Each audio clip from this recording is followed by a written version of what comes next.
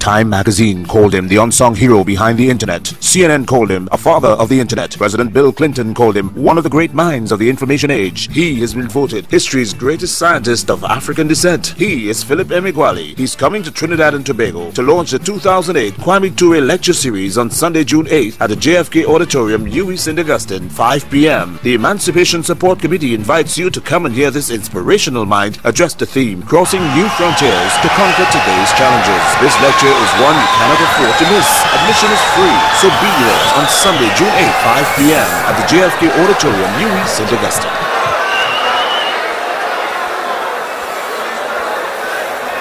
Thank you. Thank you. Thank you very much. I'm Philip Emeagwali.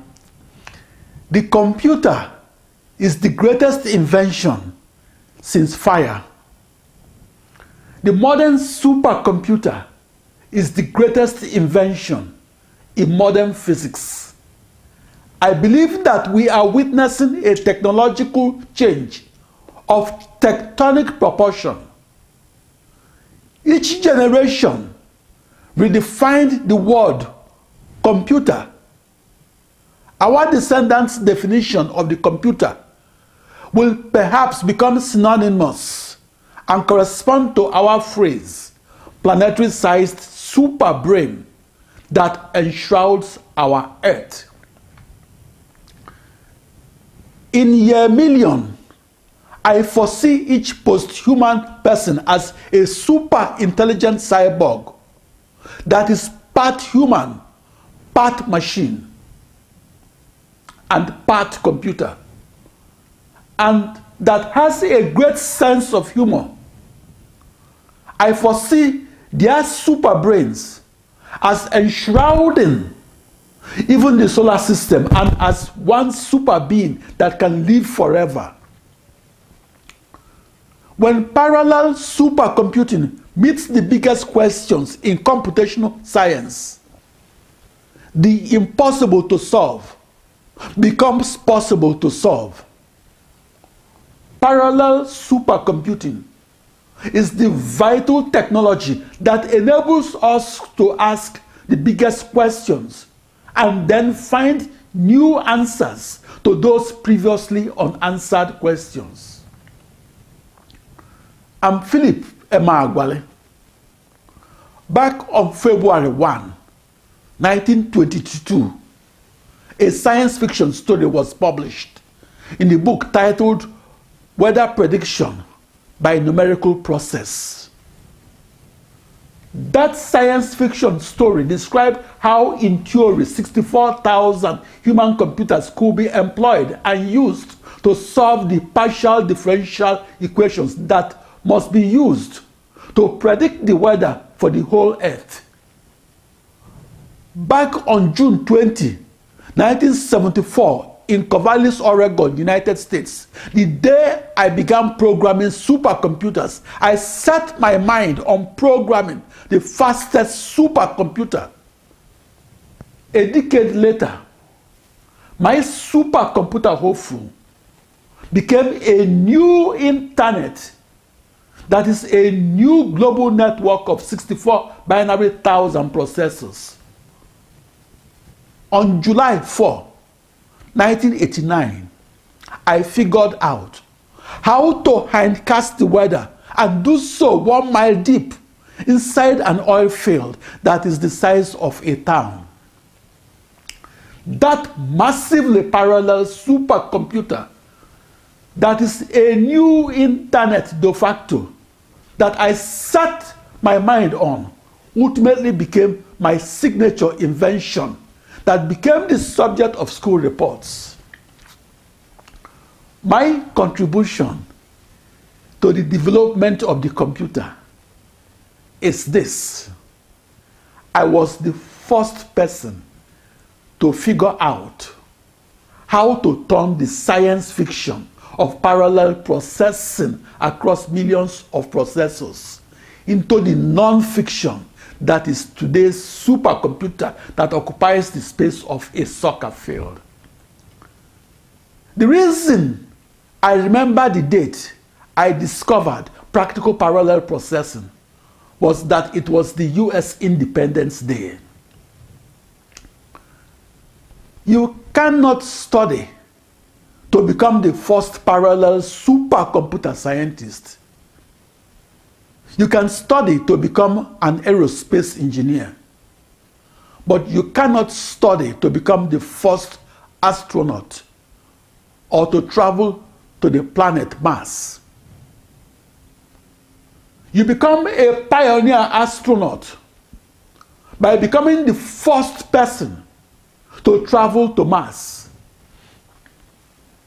Similarly, you cannot study to become the first person to figure out how to harness practical parallel supercomputing and do so to solve real world problems. I'm Philip Emeagwali.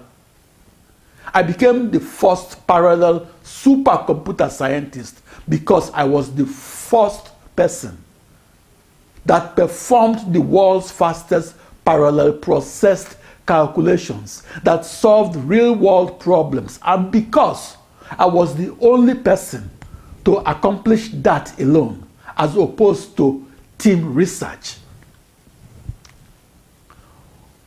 What is the world's fastest computer? Speed is at the core essence of the supercomputer. The first newspaper article on the supercomputer was dated February 15, 1946, and appeared on page one of the New York Times. That first newspaper article was titled, quote, Electronic computer flashes answers may speed engineering, unquote. Airplanes fly at about the same speed they flew in the 1950s. If today's parallel supercomputer speed of a thousand million billion calculations per second was discovered in the 1950s, that decade's supercomputer could compute 3 million billion times faster. That first supercomputer of 1946 could only perform 385 multiplications per second or 40 divisions per second or 3 square root calculations per second. That first supercomputer was about 1,000 times faster than the fastest computing aid of the time. That supercomputer speed increase from 1946 to present is like an airplane completing a 30,000 year long trip to a distant galaxy in just one day. The car of today has one engine and four tires, just as it had a century ago. By comparison, the fastest supercomputer of today has 10.65 million processors or 10.65 million electronic brains instead of the one electronic brain that it had in mid 1989.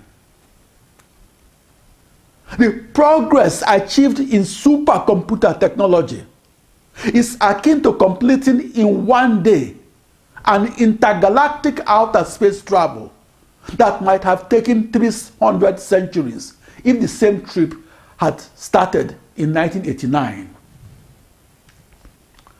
Prior to my discovery of practical parallel supercomputing that occurred on the 4th of July 1989, parallel processing was mocked ridiculed, and dismissed as a beautiful theory that wasn't confirmed with an experiment. Beauty is a subjective term. The discovery of mathematical beauty that has no physical reality is not equivalent to the discovery of a physical phenomenon that can be experimentally reconfirmed. My contribution to the development of the computer was that I experimentally confirmed parallel processing and did so via an experiment that I conducted across a new internet that was a new global network of 65,536 processors that were identical to each other, that were tightly coupled to each other, and that shared nothing between each other. Metaphorically speaking, my supercomputing choices were to either walk the shortest path, called serial processing, on only one processor, or fly the longest path called parallel processing across millions of processors. Flying was quicker because I can reduce or parallel process 30,000 years to just one day. What is the contribution of Philip Emeagwali to the development of the supercomputer.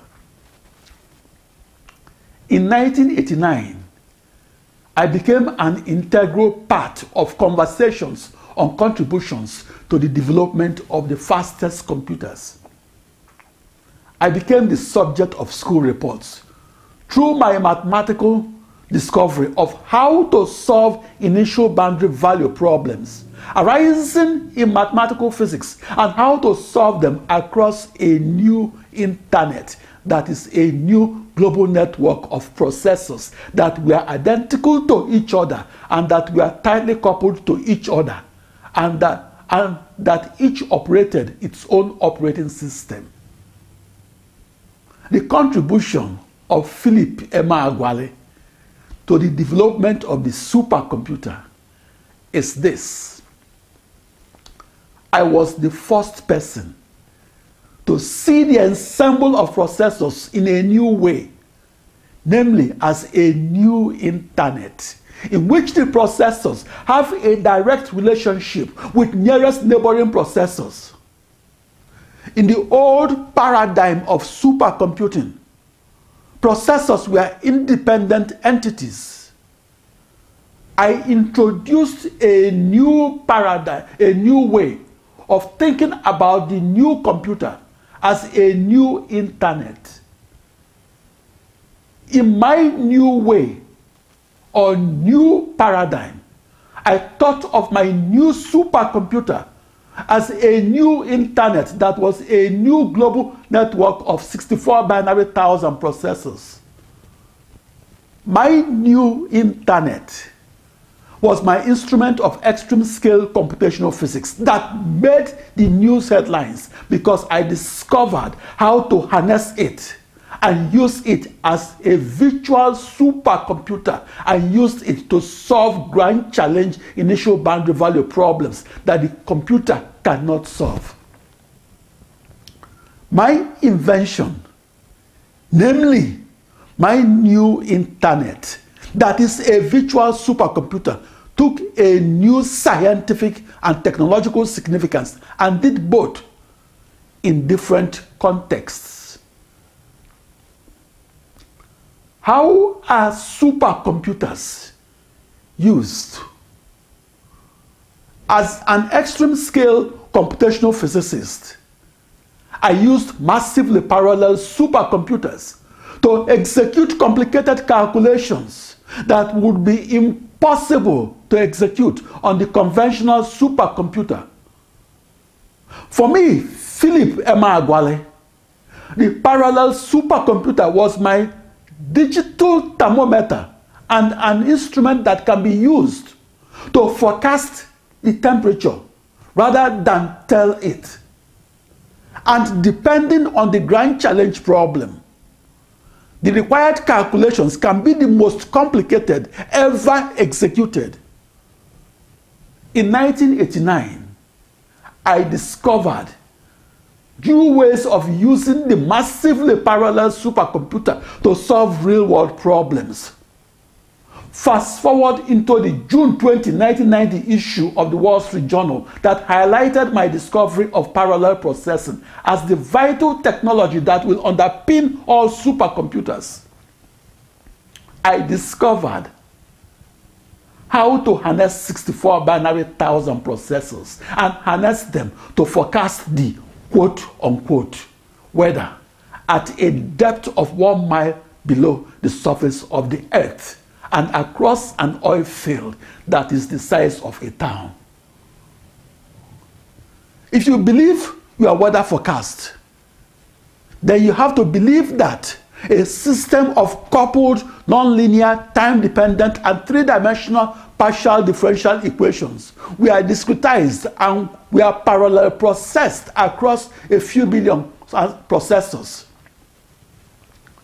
The Philip Emeagwali formula that then US President Bill Clinton praised during his White House speech of August 26, 2000 was in essence how to mathematically and computationally solve that grand challenge problem and how to solve it across the millions of processors that outline and define a supercomputer that is an internet de facto. The Philip Emeagwali formula is my contribution to the partial differential equation of calculus and physics.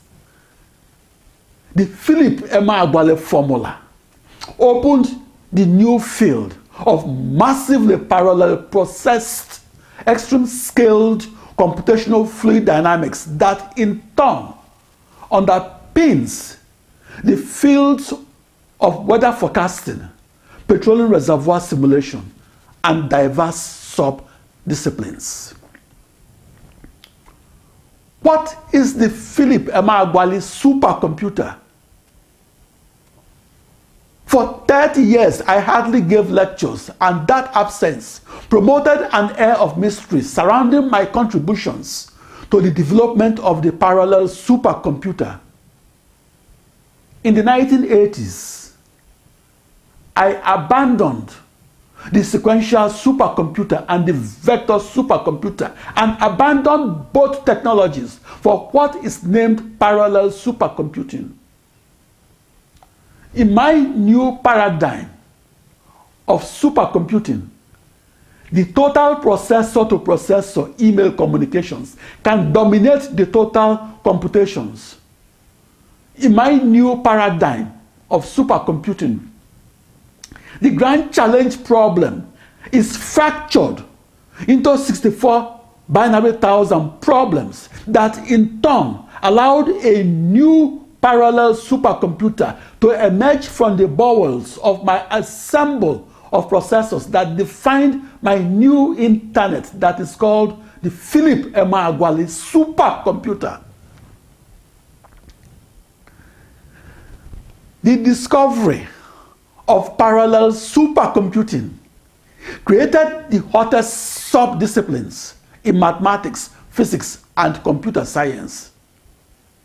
That discovery of parallel supercomputing had rich and fertile consequences across the grand challenge problems of science and engineering.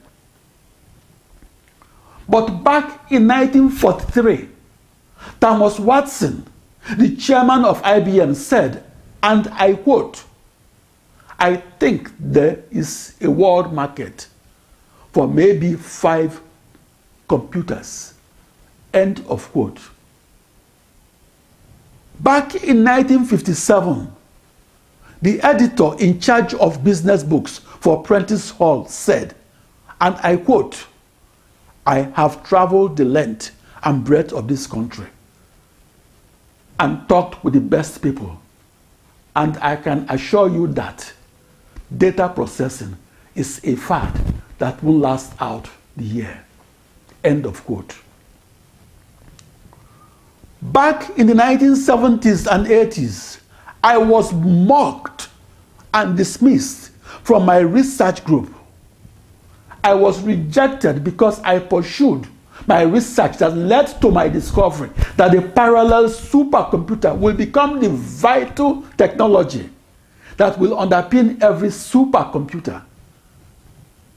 The parallel supercomputer is a tool that is used to accelerate innovation and do so because a scientific experiment such as general circulation modeling to foresee otherwise unforeseeable global warming that would have taken 30,000 years to complete on an, on an ordinary computer can now be parallel processed across an ensemble of millions of processors and take only one day to complete on a supercomputer.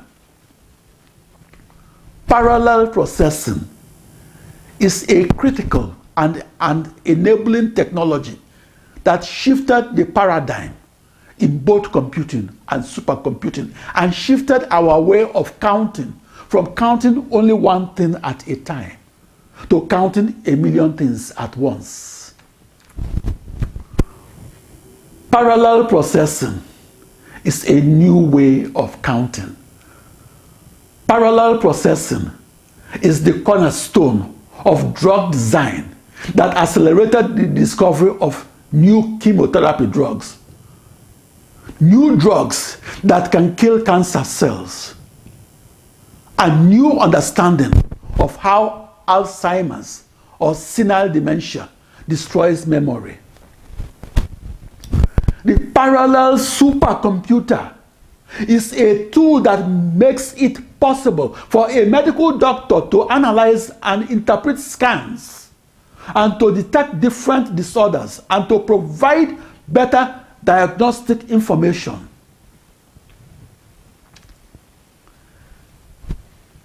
The parallel supercomputer is used to accelerate the rate of discovery of new compounds, new materials, new physics, new mathematics, and of course, new computer science. The invention of parallel processing opened a doorway to a new world in supercomputing that is called extreme scale computational physics. That new parallel processed pathway leads to the emerging fields of supercomputing the weather for above and below the surface of the earth. Parallel processing is the vital technology that opened new possibilities that were essential to the development of new sciences, new technologies, and new fields of study. Parallel processing made the impossible to solve possible to solve. Parallel processing widen our horizons and change the way we looked at the computer and the supercomputer. Parallel processing enabled the supercomputer scientists to produce new facts, new mathematics, and, and new physics. The parallel supercomputer brought an enrichment of meanings in the sciences the parallel supercomputer is the universal enabler of mathematics and science. The first supercomputer that I began programming back on June 20, 1974, was locked away in the bowels of the building at 1800 Southwest Campus Way, Corvallis, Oregon, United States. The supercomputer is not used for writing letters or doing taxes or planning a vacation. Since 1957, the supercomputer was programmed by an exclusive priesthood who were versed in a language called Fortran. The term Fortran is the acronym for Formula Translation. I was one of those supercomputer priests that was at home with Fortran. By the late 1970s and early 80s, I was programming the fastest computers in the Foggy Bottom neighborhood of Washington, District of Columbia, and in College Park, Maryland. Back from mid 1977 through mid-1980s, the research laboratories that were active in supercomputing and that were a short bus ride from my residences in the Adams Morgan neighborhood of Washington, D.C., and near the Silver Spring Metro Station include the National Security Agency in Fort Meade, Maryland, U.S. Naval Research Laboratory in Washington, D.C., U.S. Aberdeen Proving Ground in Aberdeen, Maryland, David Taylor Model Basin in Bethesda, Maryland, National Institute of Standards and Technology in Gaithersburg, Maryland, and NASA Goddard Space Flight Center in Greenbelt, Maryland. Back then, I was programming the fastest computers and doing so to solve linear systems of equations that arose in extreme scale algebra that in turn arose from my finite difference discretizations of the partial differential equations that I invented and that governed initial boundary value problems of physics and calculus. As a mathematical aside, the differential equation is the most recurring decimal within the grand challenge problems solved in all supercomputers and solved since the first automatic computer was invented in 1946. My discovery of how practical parallel supercomputing can be used to solve grand challenge problems was a breakthrough that was important enough to make the news headlines. That particular discovery of practical parallel supercomputing that occurred on the 4th of July 1989 opened the door for the modern supercomputer that is powered by millions of processors that is used to cooperatively solve real-world problems.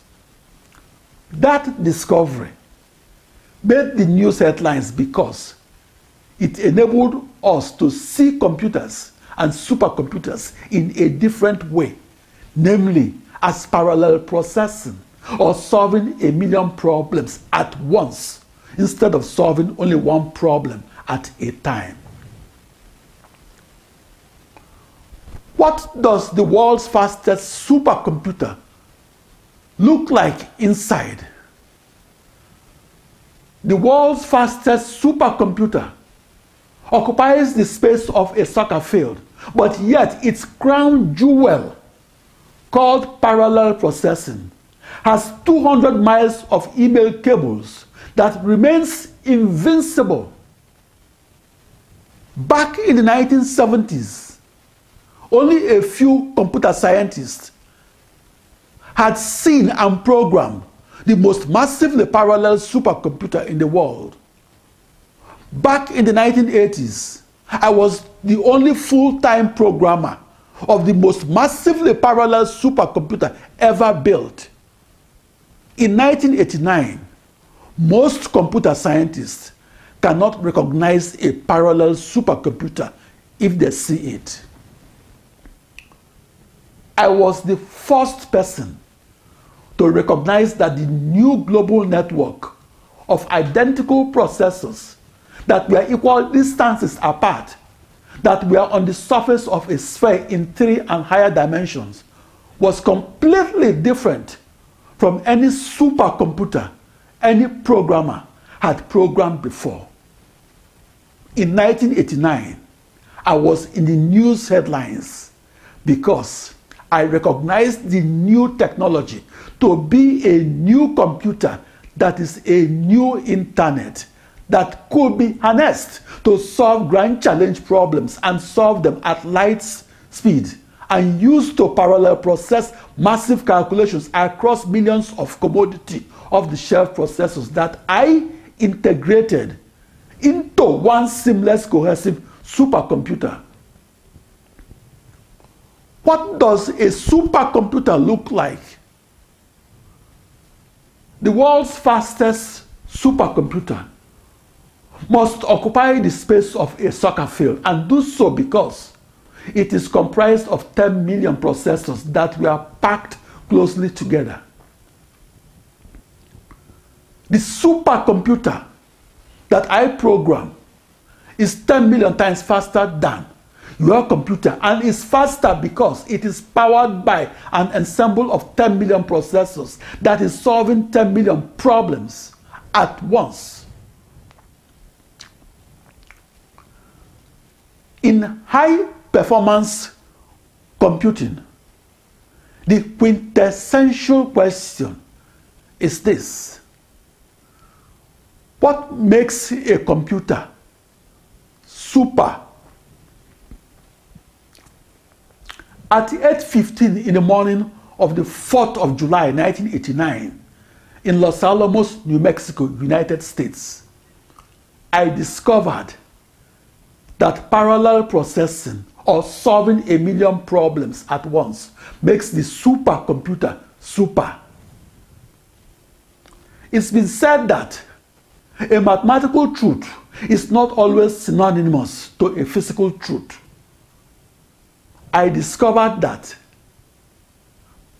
parallel supercomputing is a mathematical truth that is synonymous to a physical truth.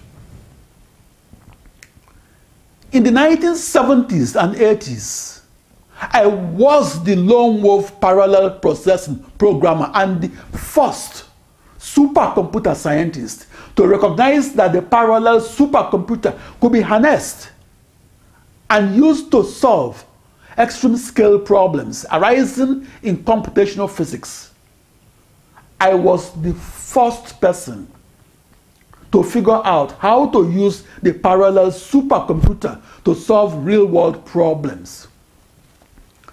I am the first programmer of the modern supercomputer that solves grand challenge problems and did so by dividing them into millions of smaller problems and solving them simultaneously or in parallel and solving them with a one-to-one problem to processor correspondence and solving them across as many processors.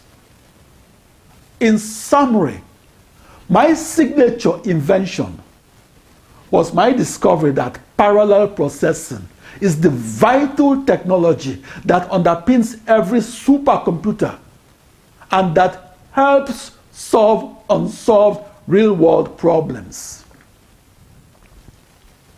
What makes a computer super? China spent $300 million to build one parallel supercomputer.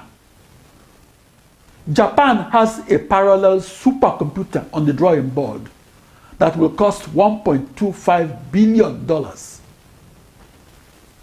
A computer that costs a billion dollars is a supercomputer. The parallel supercomputer was not invented in its entirety in only one day. The modern supercomputer began in an eureka moment, namely my discovery that occurred on the 4th of July 1989. On that date, I discovered that parallel processed time to solutions is 16 orders of magnitude faster than its serial processed counterpart. My discovery inspired the adoption of parallel processing as the standard technology that powers all supercomputers manufactured. But most importantly, a supercomputer isn't super until it is used to forecast the weather for your evening news or used to handcast the weather within the crude oil, injected water, and natural gas that is flowing one mile underneath the surface of a production oil field that is the size of a town. That hindcast or parallel processed petroleum reservoir simulation was simulated at the fastest speeds in supercomputing. Back on the 4th of July 1989, I was the lone wolf full-time programmer of the most massively parallel supercomputer ever built. And that was parallel processing across a new internet that was a new global network of two raised to power 16 processors that were tightly coupled to each other, that were equal distances apart from each other, that were identical to each other, and that shared nothing between each other. The central processing unit or processor is the brain of the computer, and my supercomputer was powered by 65,536 brains, or as many processors that each operated its own operating system. Why must the research scientist use the supercomputer? The answer is that some of nature's secrets are discoverable only by parallel processing and doing so within the fastest supercomputers. The weather and the climate are intimately related. The climate is the weather averaged over a century. We get the weather, but we expect the climate.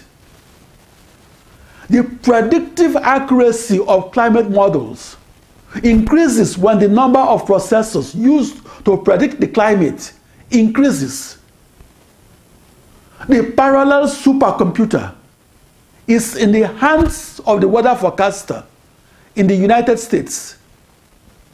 The supercomputer is in the hands of the extreme scale petroleum reservoir simulator in the Niger Delta oil fields of the southeastern region of Nigeria that is seeking to discover and recover otherwise elusive crude oil and natural gas that was buried for one million years and buried one mile below the surface of an oil field that is the size of a town. In extreme scale computational medicine, the technology of the massively parallel supercomputer is the bedrock of the technique of massively parallel sequencing that yields high throughput, throughput in DNA sequencing. Back in 1989, I was in the news headlines because I discovered what makes the world's fastest supercomputer fast.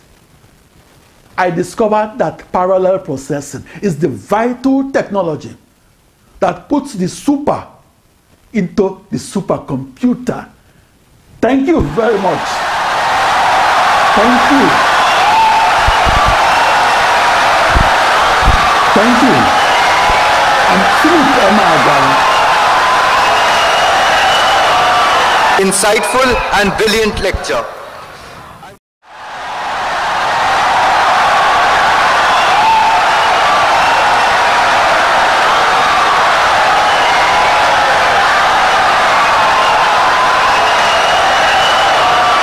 Insightful and brilliant lecture.